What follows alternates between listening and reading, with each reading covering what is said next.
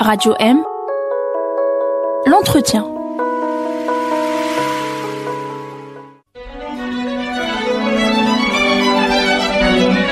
Pour bien s'entendre, il faut bien s'écouter. Rendez-vous sur M, la petite radio du Grand Maghreb. Euh, un bonheur de, de, partager avec nos auditeurs euh, tout ce qui concerne le peu qu'on peut dire euh, en un entretien de 20 minutes euh, sur mémoire anachronique, lettre à moi-même et à quelques autres.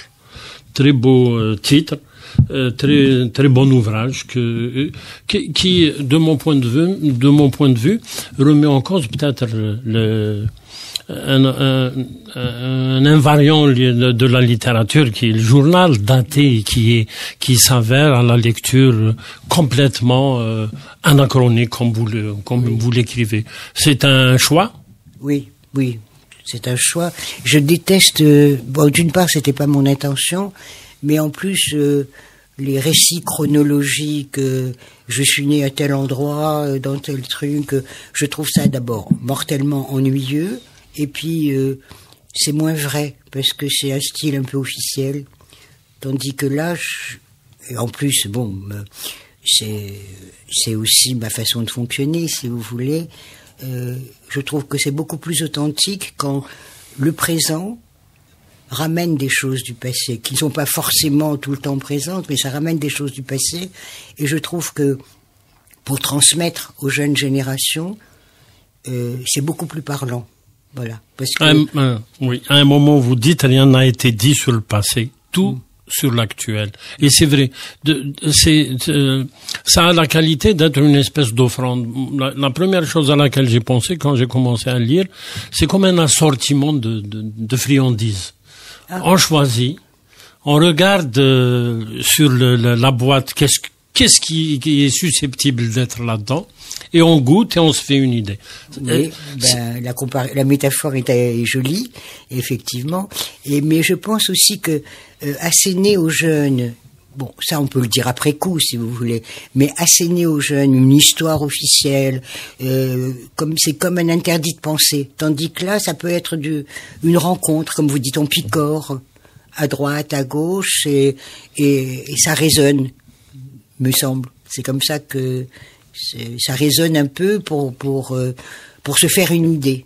Parce que les jeunes ils ont besoin me semble-t-il euh, pas pas d'un discours euh, comme ça euh, asséné etc ils ont besoin de d'une rencontre me semble-t-il. Fragmentaire mais une rencontre. Tout à fait, tout à fait. Ça, ça, ça lie aussi à, à, à, un passé qui est le vôtre euh, à votre ancêtre qui était colporteur à Médéa. Mon arrière-grand-père, arrière grand-mère. et, et, et c'est aussi une forme de colportage en fait. C'est ah, oui. vous un colporteur, c'est quelqu'un qui, qui ouvre ses, euh, ses, qui expose sa marchandise et qui laisse totalement les gens libres de de se servir. Absolument. Et, et j'ai beaucoup euh, aimé ce, ce, cette, cette manière d'offrir. Et, et c'est pareil à travers quand vous décrivez toutes les toutes les personnes que vous avez rencontrées, je pense essentiellement à Fanon, je pense à Derrida, à, à des gens dont le le, le, le savoir est extrêmement d'actualité. J'espère, parce que quand même, je suis très contente d'avoir pu, euh, en écrivant ce livre en 2000 euh, sur Franz Fanon, avoir pu réactualiser euh, enfin dans le paysage francophone et algérien, euh, non seulement le personnage, mais la pensée actuelle de Fanon. Ça, je suis très contente d'avoir fait ça, euh, parce que c'est vrai que ça a ouvert après tout un intérêt ici, comme comme dans les autres, comme dans d'autres pays de l'autre côté de la Méditerranée, que ce soit en Italie, en France, euh, en, Hollande, etc., d'avoir réouvert euh, cette interrogation. Et je dois dire que pour euh, les, jeunes fran français dont les parents sont algériens, ça a été aussi extrêmement important, parce que ça leur a redonné le sens, le sens de ce qu'ils vivent. Voilà. Et de ce que ses parents, leurs parents ont vécu, et ça leur a donné une estime de, comme si ça leur redonnait une estime d'eux-mêmes, qui, est souvent défaillante. Et vous, vous le racontez, euh, comme vous l'écrivez, dans le style euh, euh, anachronique, dans le sens où c'est c'est des remontées, des remontées qui, qui se réalisent toutes extrêmement utiles pour l'aujourd'hui de, des Algériens, dont vous vous réclamez. Oui, oui, euh, c'est évident, puisque quand même tous les souvenirs que j'ai et que je raconte euh, sont quand même euh, tout à fait liés à l'histoire algérienne, à l'histoire de la guerre de libération, et même avant, à l'Algérie coloniale, et puis même dans la guerre de libération, si vous voulez, au fond, euh, je raconte des choses euh, de la façon singulière, mais qui ont été un peu étouffées par l'histoire officielle, me semble-t-il. Me semble. Mais euh, donc, mais en plus, si vous voulez, moi, je j'ai une certaine tendresse et, une pointe de distance et d'humour. J'ai pas, je suis pas, et je crois que ça se retrouve dans ce livre. Absolument. Euh, je crois que c'est ce qui est le plus marquant. Euh, je, je, pense à, à, à l'épisode Rocher Noir 1962 que vous que vous que vous éludez en, en vous appuyant sur un texte, un texte antérieur. pourquoi ce choix? Et racontez-nous ce premier contact avec l'Algérie indépendante. Ah, premier, ah oui, oui, c'est, non, mais ça j'y tiens beaucoup, mais j'en avais, j'avais fait un texte, et puis j'en ai parlé aussi. Euh, oui, c'était un brin de mémoire, je crois, je me souviens plus très bien. Je raconte comment. Oui, c'est un brin de mémoire, effectivement. Oui, j'aime, j'aime bien ce texte, effectivement. Comment, quand, euh, euh, avec mon ami Janine Belhoja, qui est quelqu'un que j'ai adoré, vraiment, on était, parce que je parle beaucoup des femmes aussi, hein, dans ce oui, oui, tout beaucoup des femmes. Euh, quand, on, quand on est arrivé de Tunis, c'était donc en mars 62, euh, on est arrivé à Rocher Noir. Et là aussi, c'est un épisode qu'on raconte toujours très très mal. Où on a été accueillis par euh, Fares et Mostefaï, et où on s'est retrouvé à Alger, euh, dans un Alger à feu et à sang ça aussi, vraiment euh, ce que j'appelle la deuxième zone autonome. Euh, ça a été un moment avec la montée de l'OAS. Euh, ça a été terrible, je veux dire. C'était vraiment et, et là j'ai beaucoup appris. Si vous voulez, moi j'avais quitté l'Algérie pour, pour, justement pour pas aller en prison. Est-ce que je d'autres de mes amis ont été en prison? Moi, j'avais 20 ans, j'avais pas envie d'aller en prison. Donc, euh, donc j'étais parti à Paris, à Tunis, euh, à Berlin. De nouveau Tunis. Et l'Algérie de l'intérieur, ça faisait aussi bien Janine que moi, ça faisait six ans qu'on l'avait pas trouvé. Et moi, j'ai découvert, et je, j'ose le dire maintenant, j'ai découvert que l'aspiration des Algérois, en tous les cas, euh, parce que je peux pas parler ni d'Oran ni de Constantine, euh, était une aspiration euh, de liberté, de souci de l'éducation des enfants, d'histoire, euh, d'une horizontalité, si vous voulez, de et que j'avais un peu peur que que ce qui venait de l'extérieur ne corresponde pas tout à fait à cette aspiration. Mais je l'ai toujours dit, euh, je l'ai écrit et je sais pas, pas, faire preuve de courage, c'est faire preuve de le dire. J'ai été, je voyais bien, moi je venais de l'extérieur, je voyais bien les conflits qu'il y avait euh, dans la, dans les gouvernements extérieurs et, et que c'est vraiment les, les Algérois, les Algériens de l'intérieur n'étaient pas vraiment au courant de cela. Ils étaient tout à fait euh, dans une autre perspective. Effectivement, ils ont montré qu'ils n'en voulaient pas. Euh, mm. C'était euh, crier, c'était hurler, une barakat, si vous vous rappelez. Oui, tout à fait. Et, les deux ans donc vous avez vécu à Alger jusqu'à 64. Oui. Donc j'ai connu toute cette période, mais comment vous dire euh, Moi, je suis pas partie définitivement. Je suis partie parce que je voulais. Euh, c'était compliqué les diplômes que j'avais de l'extérieur en Allemagne, etc. ou en Tunisie.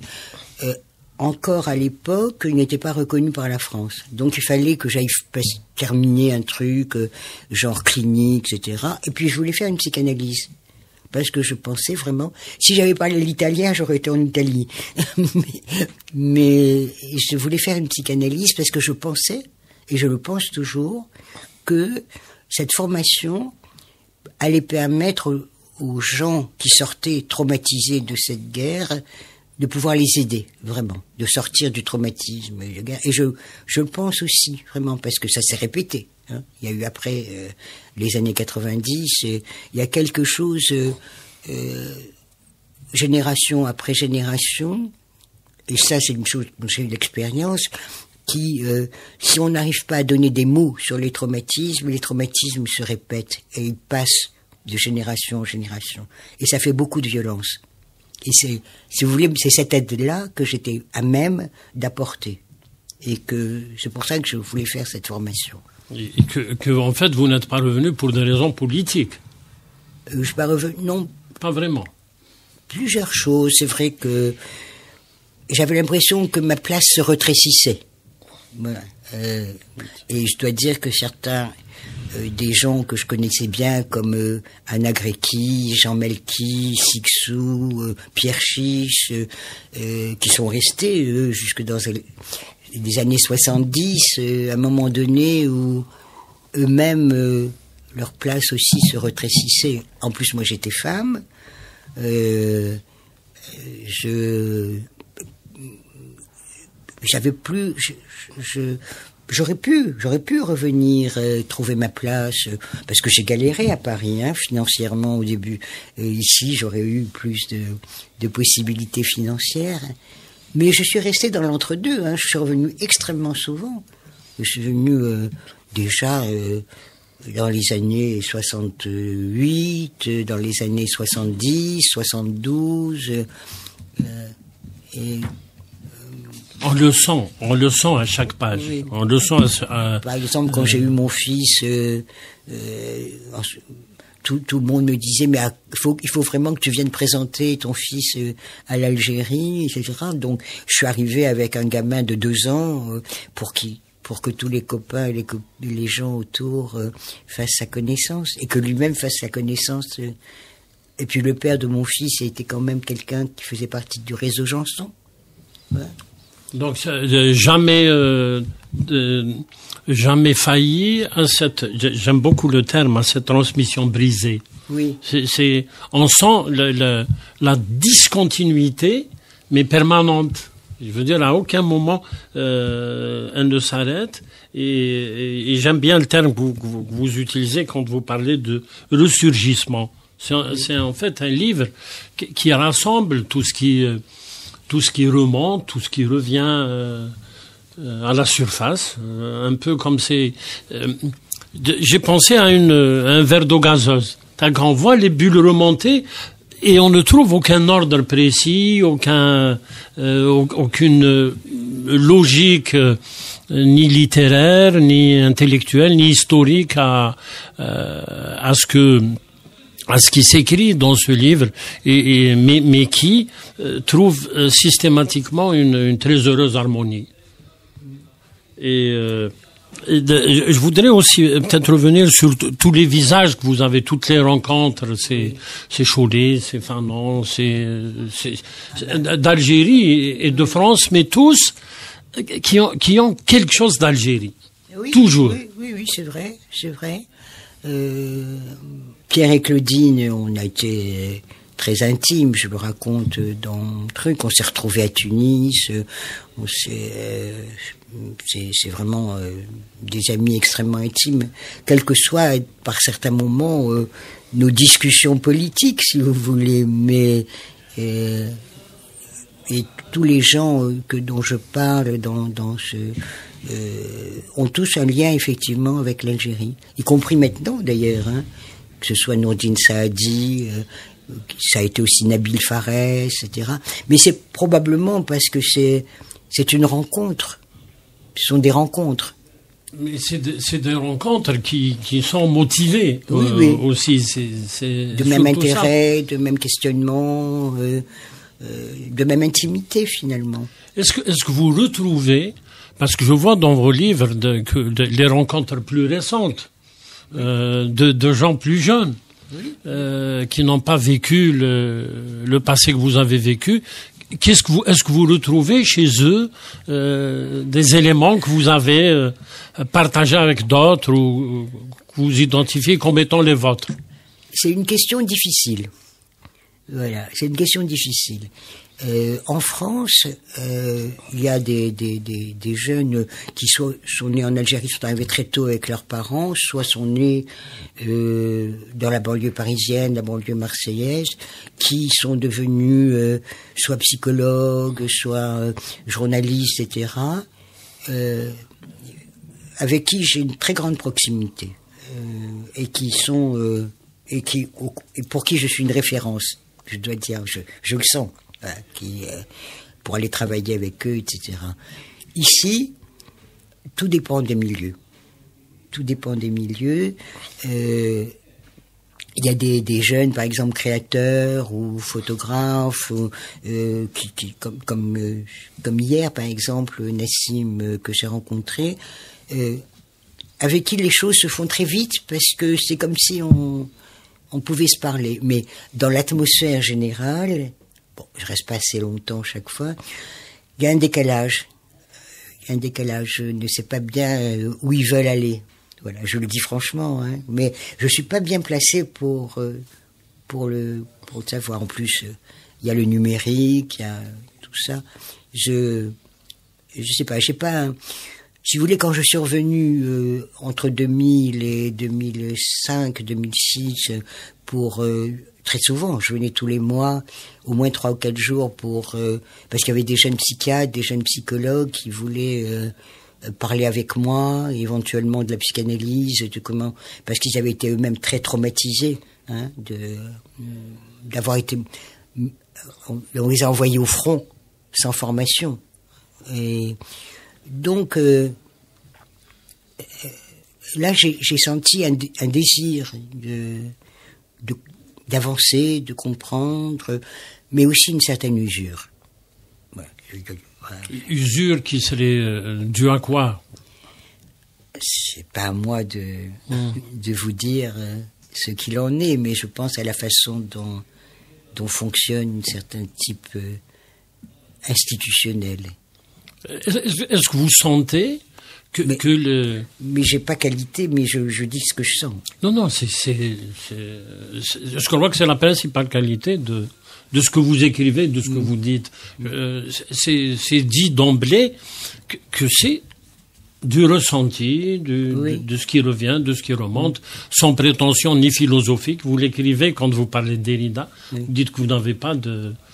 De prétention philosophique. Voilà, mais que vous aimez partager des choses avec des, des gens, qu'ils soient philosophes, euh, euh, en politique, euh, psychiatres, euh, etc. Je voulais finir sur, sur, sur quelque chose. Est-ce que vous pensez que ce qui vous a animé, ce qui vous a animé pendant toute la période de, euh, coloniale et, et juste euh, post-indépendance peut encore alimenter un combat dont on dirait qu'il serait post-colonial? Ben oui, je le pense. Euh, c'est d'ailleurs pour ça que j'ai tenu vraiment à ce que ce livre soit publié concomitamment en Algérie et en France. Oui, je le pense. Enfin, je le pense. Je le pense. C'est pas. Je le pense pas tous les jours comme une exigence, mais j'aimerais bien que, voilà, que ça puisse euh, être participé, si vous voulez, euh, à, à cette émergence d'un combat post-colonial. Mais, mais je dois dire que je suis très clair là-dessus. C'est pas à moi de, je peux donner quelque chose comme ça d'une représentation de quelque chose de possible, mais Euh, mais c'est aux jeunes générations à, à en faire quelque chose. Voilà. Mais c'est possible, je pense. C'est possible. À mon sens. Merci Ali. Sinon, je continuerai pas. Hein. Oui. Merci Ali Cherki d'être euh, avec nous sur le plateau. Merci pour ce que vous nous apportez. Et moi, merci. Merci pour ce que vous avez lu de mon livre. Ça me touche. Radio M. L'entretien.